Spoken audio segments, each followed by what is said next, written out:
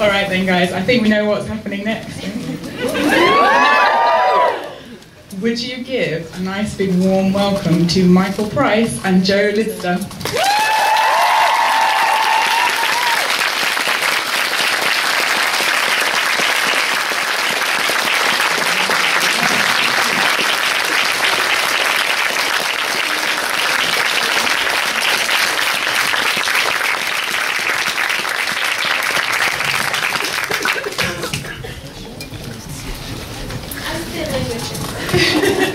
we'll be ready in a minute. All right, guys. Well, thank you very much for coming all this way. Um, where have you come from today, if you don't mind me asking? Um, Bromley by Bow. So I've only just moved there. I don't even know where it is. It's only half an hour. I don't know where it is either, actually. Uh, yeah, just just home. Brilliant. Right. Well. Um, I'm just to think what to ask actually. Um, we've got we're going to have a Q&A, so we're asking you guys a few questions, and whilst we're talking, if you guys in the audience want to think of things that you would like to ask these guys, and then we'll, we'll kind of open it out to a Q&A as we go through. So uh, yeah. So how do you feel about series two then? That's a very question. Yeah, yeah. Um, oh, as from writing the blogs or from watching it? Um, from both actually. So like obviously you had to write like a whole bunch of new blogs Yeah. um, for series two, like so that it would like coincide. So did you get to see any of the footage before you did it, or did you just have to go and write? Uh, yeah, no, I get given um, the scripts before filming starts, and then um, we talk about it from quite early on, and then uh, we get sent.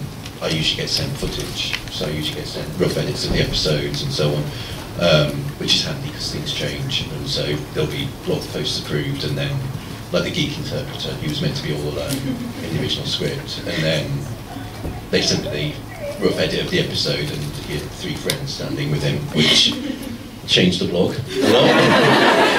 um, uh, so yeah, no, as a as a fan, and, and I loved it. I love series two. Um, I just think you know, so far six absolutely brilliant episodes.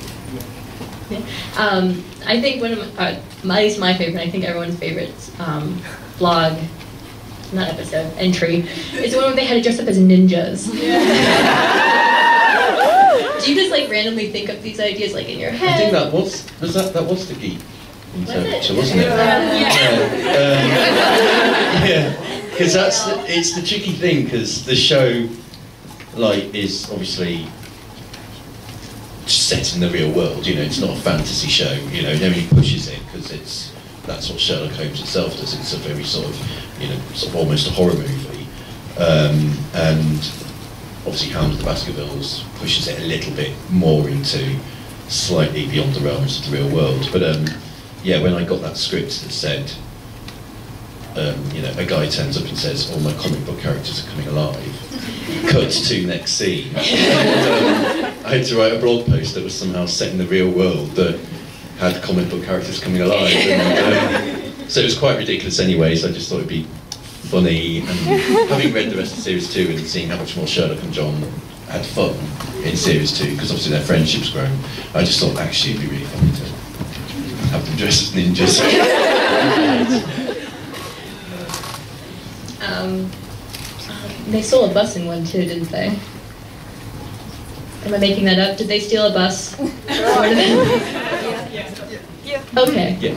I just like that one a lot. Oh, and actually, I just want to say this is really funny because we've interviewed both Joe and Michael on the podcast, which you should listen to if you haven't already. um, but I just realized they haven't met each other. This is the first time they've ever met.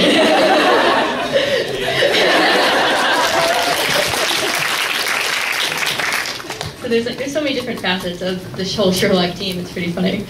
Um, but yeah, I, I couldn't help but notice like when we were I turned to Michael when we were we snuck in the back to watch the last few uh, minutes of Hounds and it's like it sounds so epic in the theater. And do you think it sounds like do you prefer it in this format or do you prefer it on TV?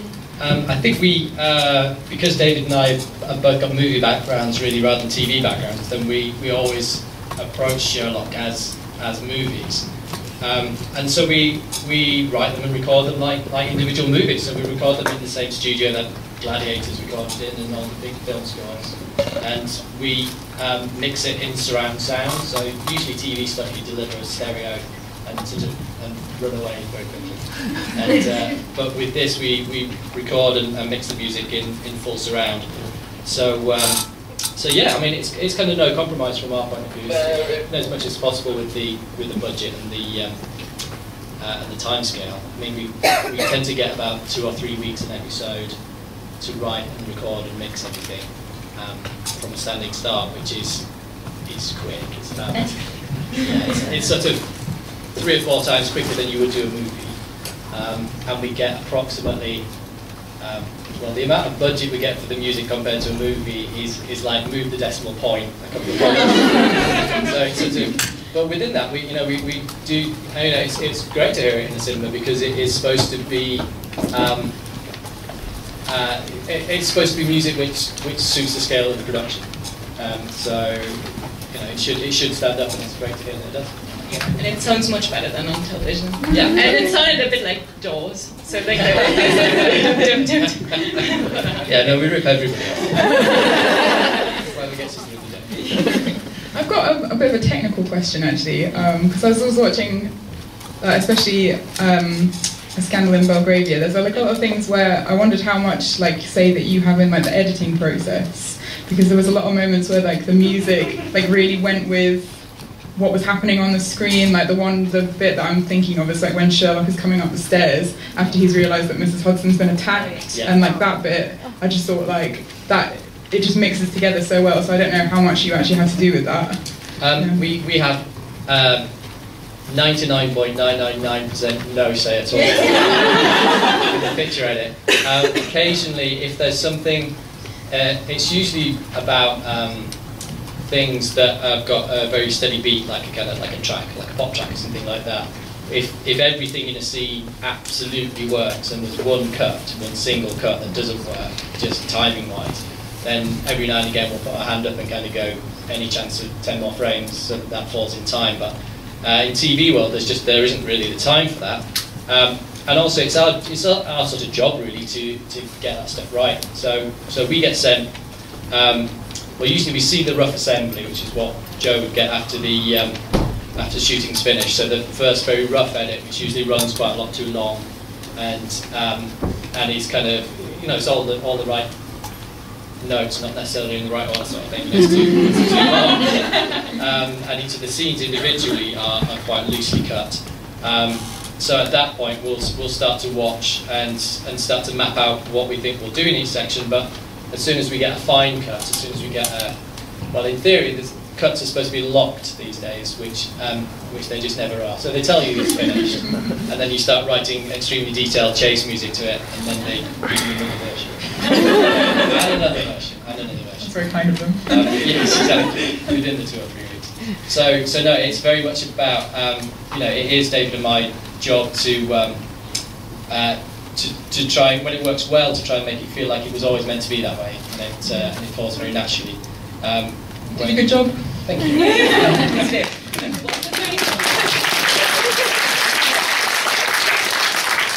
Concerning the editing pro- uh, process, I think, for both of you, um, do you have to make lots of these changes? I mean, you already mentioned there's going to be quite a few of them. But if you write something and then, you know, suddenly some changes are made, like how often did you have to rewrite stuff?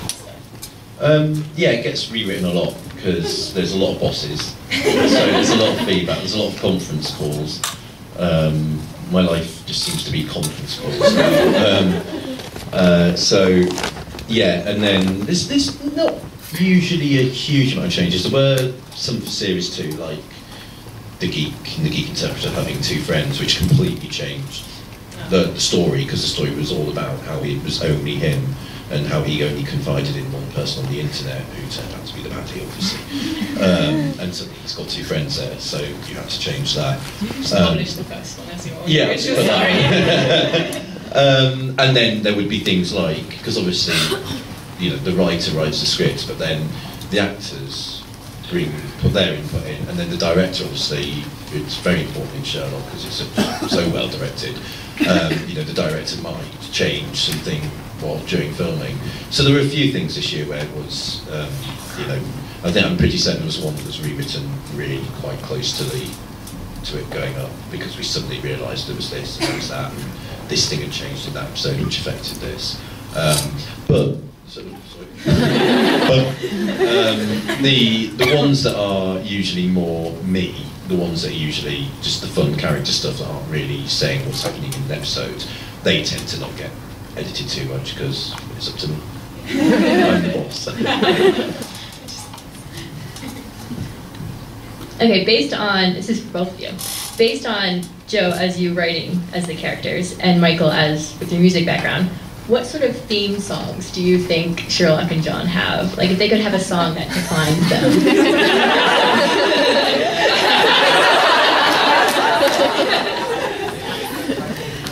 I think we should at home then.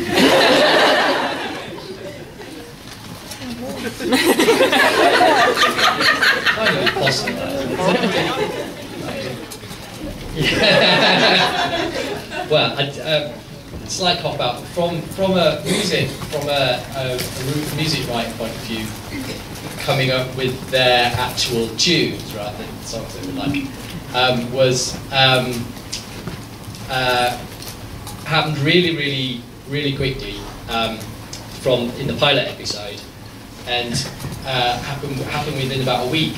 About, how long was the pilot episode ago? About four years ago, three years ago, ago. A long time. And and David and I watched the pilot episode um, uh, about 100 yards from here in a, in a screening room in Soho um, with Mark and, and Steve and Sue. And the episode, the, the, the pilot episode went through a lot of changes early on um, uh, as everybody tried to find the tone of it. And so David and I went and sat in a pub about 50 yards that way, having watched it, and just, um, uh, I'm not going to tell you which way around it was, but we both thought we had a, an idea for one of the two main characters. Uh, fortunately, we had ideas for the for different ones, because if we both had an idea for Sherlock and neither would have had an idea for Watson, we'd be quite quiet.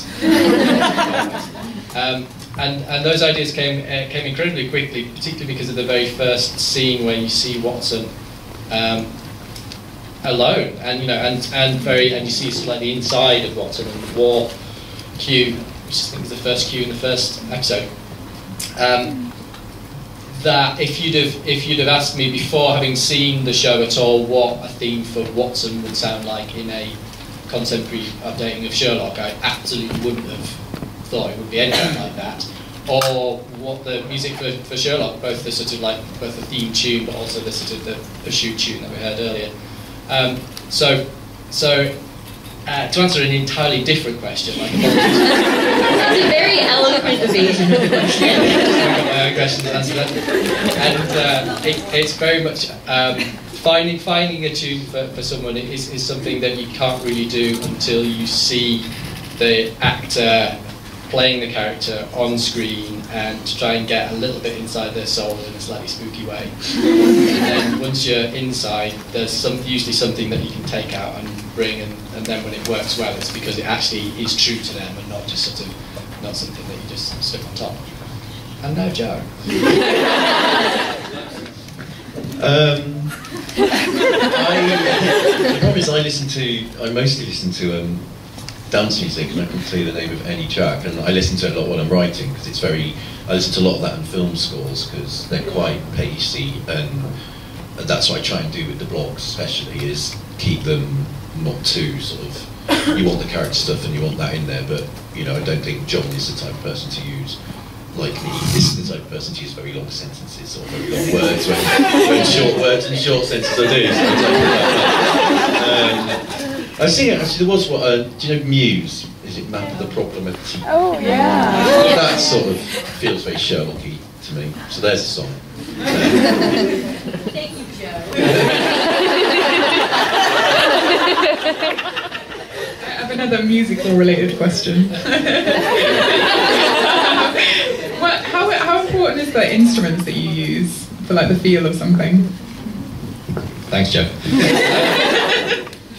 the uh, a, a, a lot of the um, it, it is very tr- uh, important to get the what we think to be the right instruments for stuff because um, not just the uh, not just the notes you're playing, but the, the sound of the instruments and the um, and the character that they that they give contribute a, a great deal to um, to the overall sound of things. We, we sort of um, moved things on a bit in in season two because we felt that season two episodes were more specific. Each episode had slightly more of its own character, or it felt like it was slightly uh, more defined this time round. So, so David and I did um, deliberately. So, Hound, which you which you've just heard, was sort of deliberately ele- electronic for the most of it. Um, and that sort of came out of the you know the, the nature of the of the crazy drug in the in the fog and, and the transformative sense of it and the, and the way that it was hallucinatory.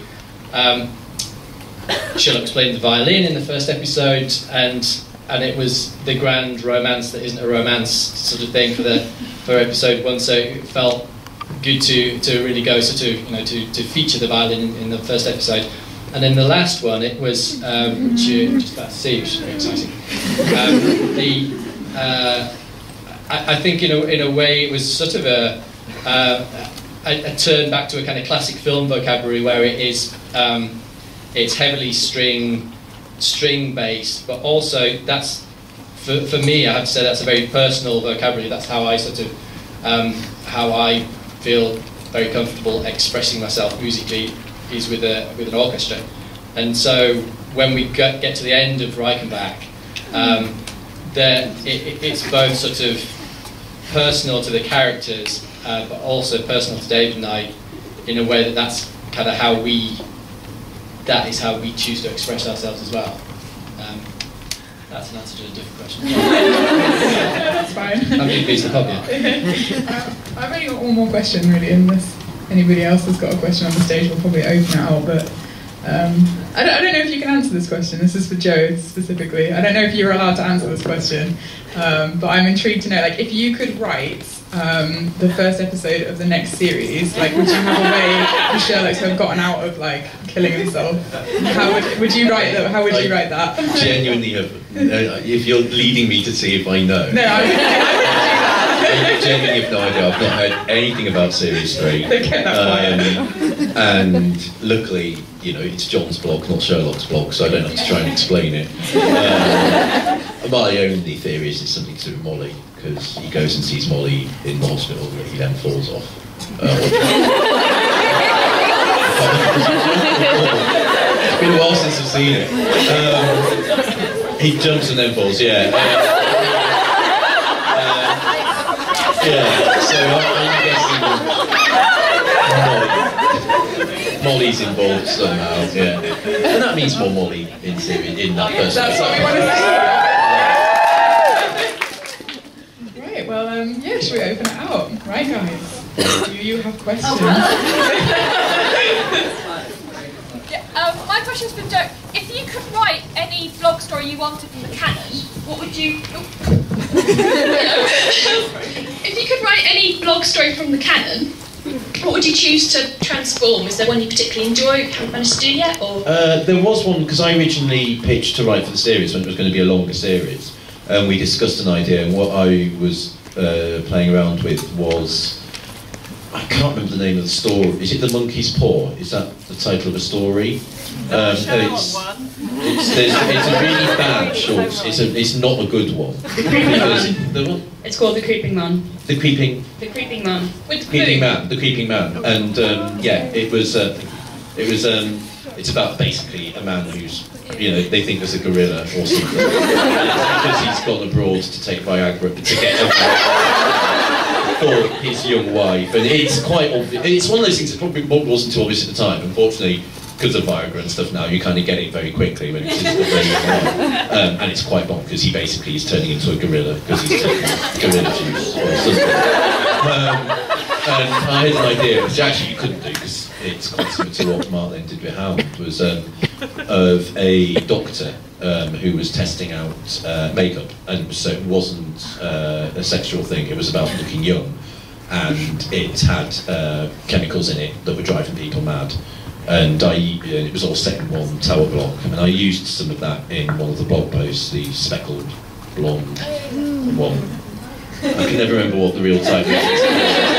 Um, so yeah, it would be that. I like the, you know, because I like the madness. I like the, the slightly heightened sort of the madness of Moriarty and the madness of the, the baddies and the slightly horror movie stuff. So yeah, it would be the the creeping man. Awesome. There. Next question. Thank you. Right, so the series two, the- unlike the the series one, has additional the music tracks that we written for human pieces. The obvious one is the cinema. And I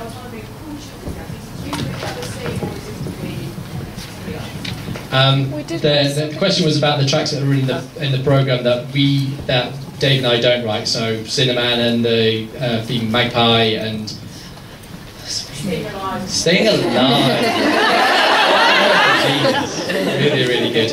Uh, the answer is the majority of those are scripted.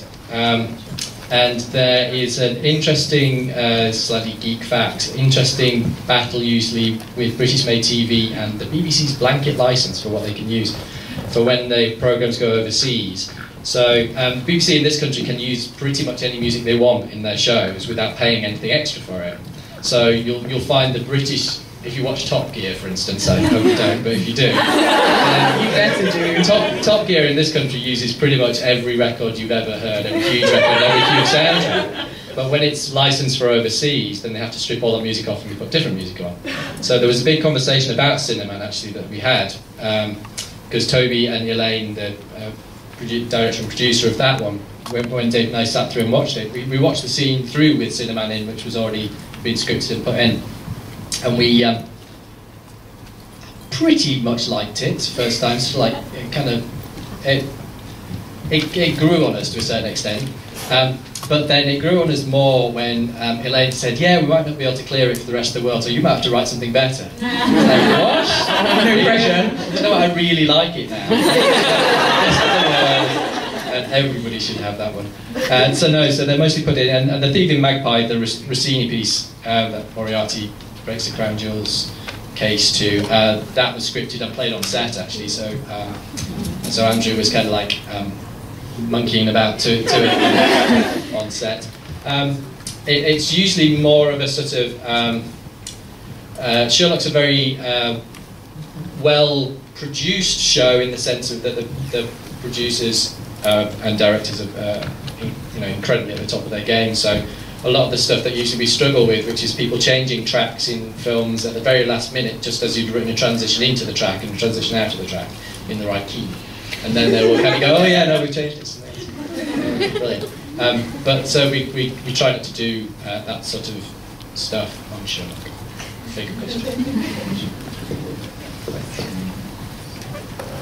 And I can see a hand. yeah, yeah, there. I guess we're coming your way. Yes, please, we can. You speak into the microphone. Hi. Um, I have two questions, one for Joe. Um, how much for your uh, of your writing is left in the films? Um, and the second one for Michael. Um, how do you share with David uh, the writing? What, who, who does which part in writing music? So, will you repeat mine? Sorry. Sorry, will you repeat mine? How much of my writing is left in? How how much of your blog writing, what you write for the blog, for the show, how much is left? What you write, how much is left in the show or seen in the show? It's seen in the show. Yeah, I mean, what I wrote was Yeah. seen in the show Yeah. in series two because Yeah. the blog was obviously important in the um, the first story of series two, which is called what? Scandal. Scandal. Um, haven't seen it. Didn't know where it was going. Um, yeah, and so the blog is seen on screen quite a bit in uh, Scandal in Belgravia. Um, uh, so yeah, I wrote that, that, that then appears on the screen, um, but for the most part, you know, you, you, tend, you tend not to see a lot of it on the screen because they're too busy solving crimes and having adventures. Thanks, Joe. Um, uh, how do David and I split up the work? Uh, it depends on um, on our diaries and what other things we're pretending that we're not doing at the same time. and we um, but now it's sort of now we've got some established themes and things. Then uh, we he works. I work from um, a a couple of studios in Hertfordshire where I live, and then and David works in Air Studios where we do the recording in Hampstead. So most of most of the collaboration is it's all exchanging files and exchanging MP3s and and uh, singing singing at each other. Uh, he could actually sing really well. I'm awful. Sing really well, but um, it's it's. that, that definitely wasn't a hint. Um, but I, I think it's. Uh, I mean, we Dave and I have worked together for about ten years now. Since um, we did a. Uh, I ages and ages ago was assistant to another composer, a guy called Michael Kamen, who did um, Robin Hood, Prince of Thieves, and Die Hard, and Lethal Weapon, and all those kind of things. And he, and so that's I spent five years with him um, learning the ropes here here in the states.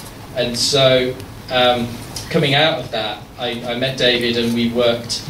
Um, I, I helped him out on a, on a film that he was um, he had some scheduling issues with, and and really in that ten years we've we've written in all kinds of different ways together. We've both got our different strengths uh, and things that come naturally to us, but having somebody else who's, who's now a very great friend after, after 10 years um, to bounce ideas off is, is in, incredibly valid. So even if um, a particular cue from a particular show emerged from one of our studios rather than the other, then nothing really goes into Sherlock without both of us liking it, without both of us thinking it's right. And then, of course, so we, we get to the point where we like it, and then um, and then we send it off to everybody else to get it rejected. Brilliant. And they all decide whether they like it. Um, Paul, lovely Paul McGuigan, smashing chap. Um, very, um, yeah, I mean, the, he basically treats the whole of Sherlock like their like their movies when there's $100 million and months and months and months to spend. So, so he literally will sort of like put things under a, an absolute microscope in the same way that we, that we I mean, it's okay because we're used to it, but we're kind of used to it and then used to having the resources and the time, time to do it. So, so sometimes it is kind of, um, yeah. Can I just butt in quickly? Um, is that quite normal then for you to work like in partnerships and that kind of Um, not on the music? I, Da- I think David and I are a bit, uh, a bit weird that way, really, and um, we've sort of. you Um, haven't killed each other yet then. no, it's, it's, it's strange. It, it really is very much like having um, having somebody else to take the heat when it's getting messy, or just sort of um, a, a- another another set of ears in, in your room. Really, um, I don't write with anybody else um, these days. I used to of do a bit of kind of slightly done for hire stuff, but I, I just write with David now, um, and, and across on my own, and. Um, yeah, it's sort of it's, it's bizarre. Sometimes you look at a couple in a ma- in a marriage and you go, I've got no idea how that works. you just think, what? They sh- shouldn't get on. Um, but over ten years, Dave and I are now firm friends and sort of um, um, musically too, which is, is great, really. You're gonna you're gonna hate me for asking this, but um, if you were Holmes and Watson, which, which would you be? Sorry guys, I'm taking away your questions. Oh yeah. Let's see what it's good.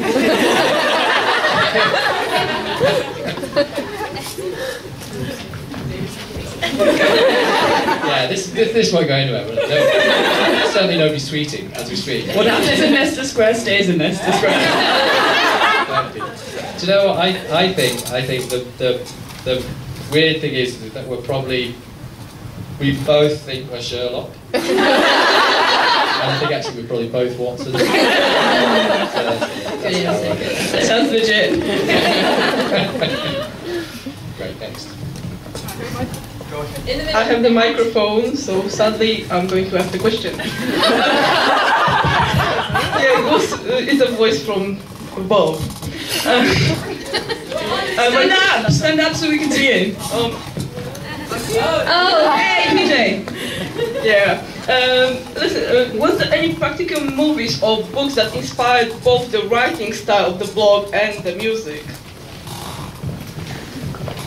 Any, sorry, films or, I, I missed the beginning. Films or books?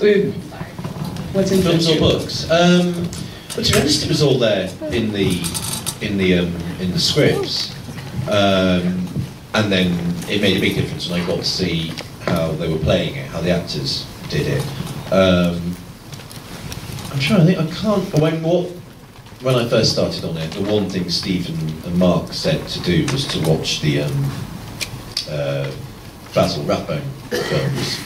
Um, because he said, I've, I've never seen, I've never seen them or the ITV show. Um, and so they said, don't watch the ITV show. They said it's brilliant, but it's it's not the style that, that we'll be going for. We're going for adventures rather than sort of very dark, serious, um, sort of very sedate um, episodes. And so I did. I watched all the the Basil Rathbone films, which are amazing. I love them. Um, and so I think I tried. That influenced the humour that I tried to put in the blog. So I sort of tried to go. It is that thing of if you ask someone who's never read Sherlock Holmes, you know, has only ever seen the old spoof or something, you know, they do sort of think that Watson is incredibly stupid and that Sherlock is absolutely humorless. And they're not, you know, they are best friends. And that's what I try to develop in, in the blog, their journey from not knowing each other um, to actually having a lot of respect and a lot of and having fun. You know, it's I think that's the, the big thing they do have is they, you know, they give each other the life that they need. They, you know, they, they both fulfill a very important part in the other person's life, um, and therefore they get to have a lot of fun.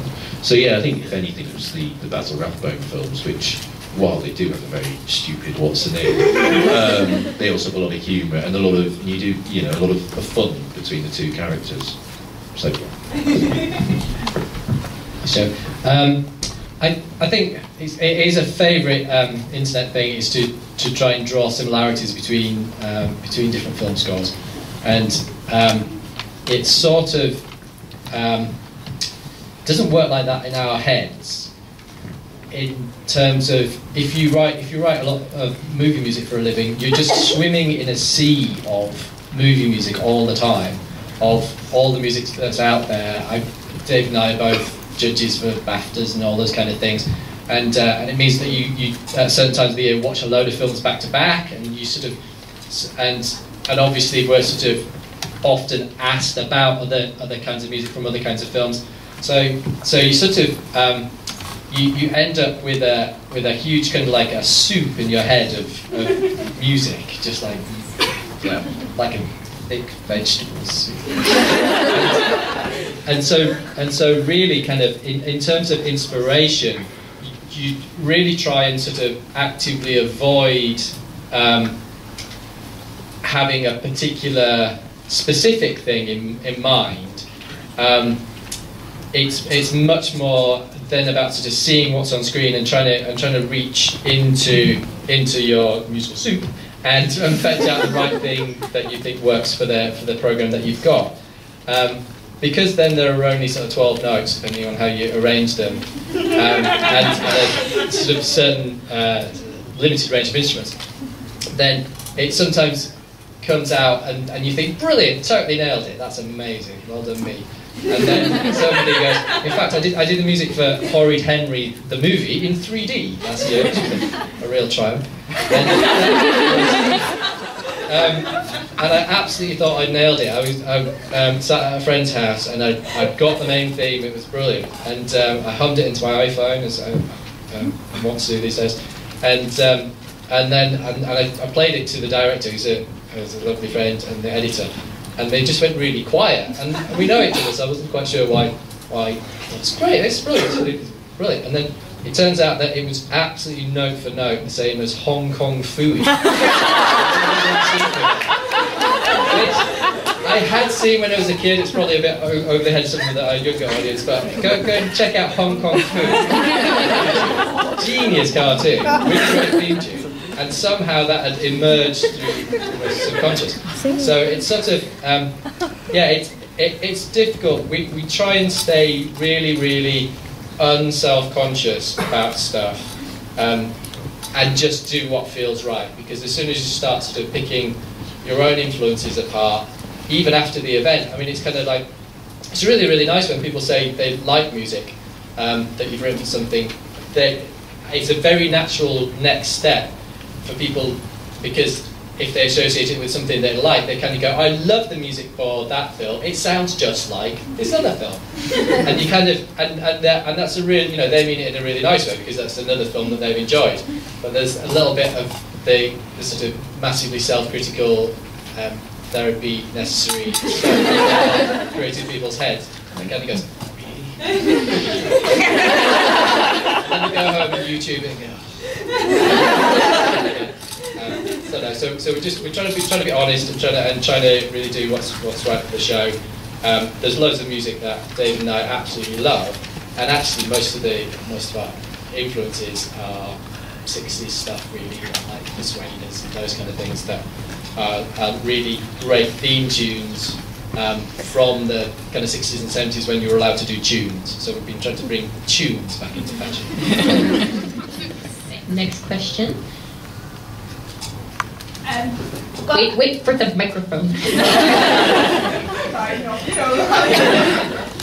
Um, oh, I've got a question each. Um, one for um, Joe. Um, uh, we love the little um, hat tips in the blogs to some of the characters and figures and the whole history of Holmes. So there's a type detective Sidney Paget, I think, in the in the aluminium crutch, and we've got Toby the cat as well.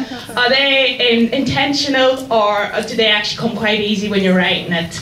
And I've got a music question as well. and just the music question is: um, Does Holmes' long-standing canonical association with the violin influence your instrument choices at all? Okay. Uh, I yes, it's mostly intentional. Um, although I couldn't tell you where Toby the cat came from. It's a dog, apparently. Someone, yeah, Yeah, that's that in that um, the long interview thing I did. Um, I yeah, um, just because it's what they do in the show and it amuses me, and I've got some good names, and um, I can always tell whether somebody in a blog post is named after somebody from Sherlock Holmes, which basically I just use Wikipedia a lot. Because I don't, Don't I, I've read all the stories, I do love all the stories, but you, I couldn't tell you the names of detectives in each one or whatever, so there's a very nice handy Wikipedia page that lists all the Sherlock Holmes detectives and so on. Um, but yes, if it's a blog post that I recognise names in because they're my friends, um, then I know they're my friends, and pretty much every other character is named after someone or something to do with, with the, the history of um, the books and the, of the films and so on. Um, violin, yes, yes, violin. Um, the violin playing, the sync in the violin playing in, in season two isn't very good. I I'm really sorry about that. We tried really hard, and then they changed the cut after we'd done the violin. It'll be better in season three, I promise.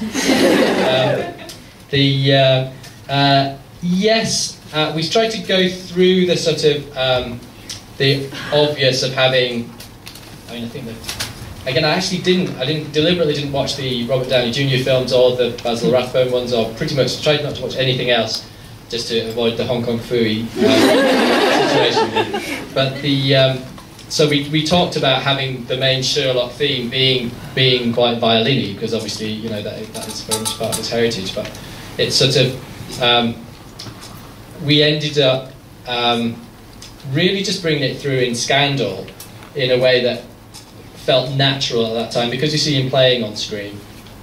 And there are some nods that Stephen um, put into. There's the original, original Basil Rathbone show where I think they do very much the same setup when Moriarty's coming up the stairs and he's playing Barker. That's all sort of kind of The woman in green. so that's that's all sort of like um, as is, and it's kind of um, I think it's it's important to the story in in Scandal because for the first time you see music's associated incredibly strongly with emotion and with, with, with expressing expressing feelings. And so I think it's really, I think it's great. The first time you really see uh, Holmes concertedly playing the violin is um, when he's looking out the window and he's thinking of Irene Adler. And I think that that actually sort of means something rather than it just being a kind of a, slightly um, uh, gimmicky kind of like, oh yeah, Anne can play the violin sort of thing. So, so that theme, Irene, uh, Irene's theme or the woman theme, um, that you can hear on the start of the, it's sort of isolated on the start of the soundtrack album for um, season two. um, is then woven into the Sherlock cue when they find out um, when they get the, the um, code right, and then also quoted again as he's looking out the window and sort of thinking about the mock execution, or is he? I'm quite sure. Um, so, so yeah, we're sort of. Um, it's interesting. We've already started thinking about what we're going to do for season three, and um, it's sort of again you sort of you start thinking of, of things that you haven't done before and things that you, you, want to do to try and sort of move things on. Um, and some some of them will stick and some of them will fall by the wayside when we actually start to see the episodes come through, and, and it could be, God knows, brass, brass bands. so I like a brass band. Could you whistle something for us that you're thinking of for series two? No. Thanks for asking. Next, uh, you went up first. Yes.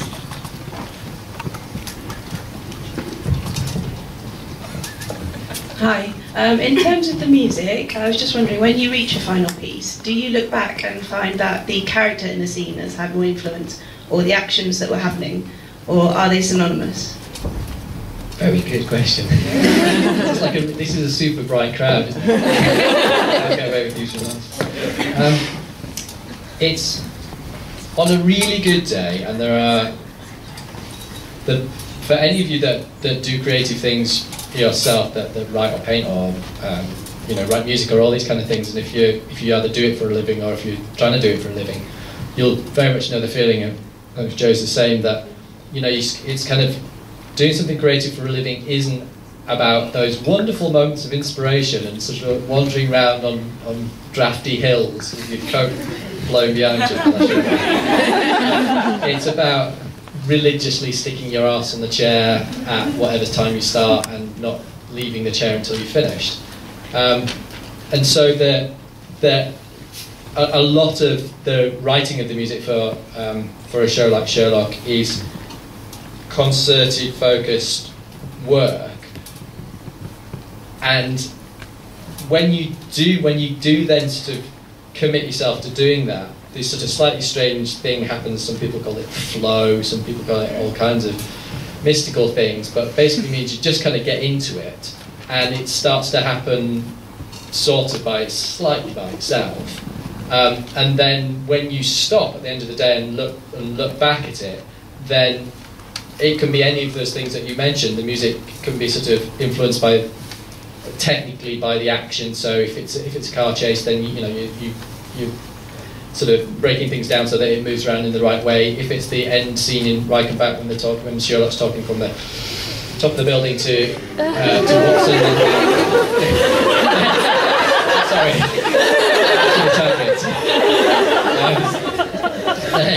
Um, then you know you know that there's sort of uh, you know you're kind of emotionally connecting uh, with the situation and, and, trying to express that. But often that's only evident in hindsight because um, you you just really need to sort of apply bomb to chair and stay there really. That's the same for all writers. Joe, that must be the same for you. yes. Right. One of the hat because you've been waiting patiently. Yes. Um, oh gosh. Hello. Um, Hello. I've got a question for Joe. Um, sorry. Um, as we all know, you, there's John's blog and there's bits of Molly's blog and there's about three sentences in Charlotte's blog. There's a lot more than that. that was the hardest bit. It's lovely, by the way. Um, I'm just wondering, are there any of the other characters in the show, like, I don't know, Mycroft or Lestrade, that you were ever thinking, hey, these guys could do with a blog? Have you ever thought I mean, it is. It's, it's a horror. It's, it's a bit like what Mike was saying about when you do something creative for a living. Um, I'd love to write blogs for all those characters. Um, I love Anderson. I think Anderson.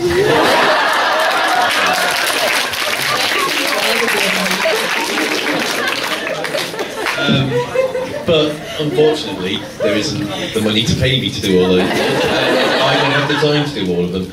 Um, so we did. I did create uh, Connie Prince's website for series one, which was just could have a laugh really, because it's a bit, bit silly and camp. Um, but they also, yeah, a decision was made for series two that we wanted to focus people more onto John's uh, site uh, because Sherlock's site's quite tricky. I find it tricky to work my way around Sherlock's site. Um, so I sort of go, oh, there's a thing there. Did I write that? Um, but Sherlock's blog's very hard. Sherlock's stuff is very hard to do because you've got to try and be inside his head. And, and when Stephen writes a throwaway line about a million types of coffee beans or tobacco or something, you know, I sort of have to go back to them and go, should we have that as a, a link removed? well, they say there's something very clever there, but we've had to take it off because of a police investigation. Good plan, we'll do that. Um, and I found my, you, I find that you end up doing a lot, a lot more with, with Sherlock stuff because technically his website should be absolutely inundated with people asking him questions and him giving answers. Um, whereas actually on John's blog you get to have a lot more fun with the characters and with the characters I've created um, that comment on his on his blog. Um, you can have a lot more fun and do a lot more character stuff. Um, I yeah, if, if if there was the money and the time, I would I would happily write for, for all of them, really. Um, let's go to the back. I can't see. There, I see a hand. You, yes, you, you. oh, both of two people pointing, so sorry. Hi. Um, my friend here and I and our friends um, were hoping to uh, produce by next summer a Sherlock musical. and we, it's a question for Michael, by the way. Um, is there any sort of copyright we should know about? Shall I get my lawyer to call you? Um, that's an interesting question, actually. Well, if, if, if you were uh, the makers of Elementary, then I think you'd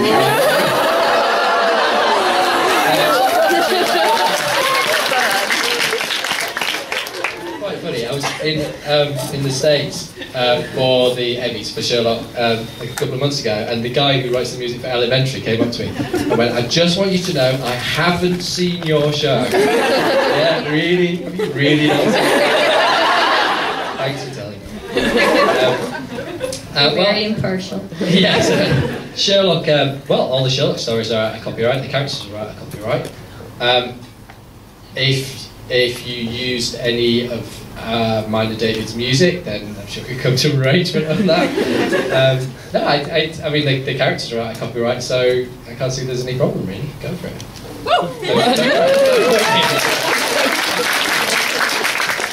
Great, and this is gonna be the last question.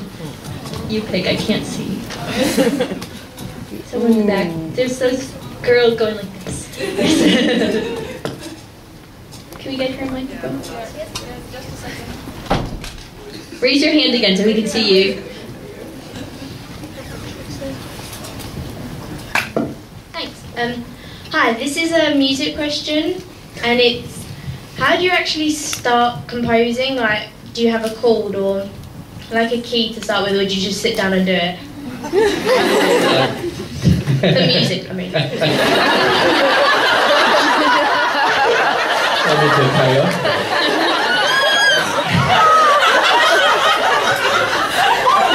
We got through this entire thing without a sex joke. Sorry. I'll go to the exit. Um,